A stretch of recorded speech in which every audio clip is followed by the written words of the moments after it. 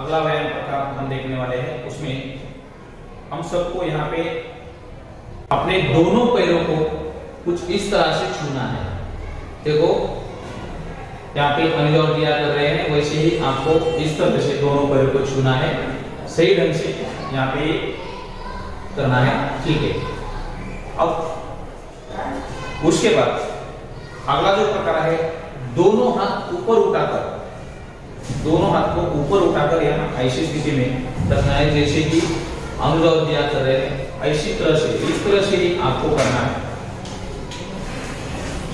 अगला जो यहाँ पे व्यायाम का प्रकार है, वो है अपना बाया हाथ सामने रखना है। बाया हाथ सामने रखकर, बाया हाथ का जो अंगूठा है, अंगूठे के नाखून को देखते हुए उसको बाई और यहाँ यहाँ पे ऐसे कुछ इस तरह से आपको करना है।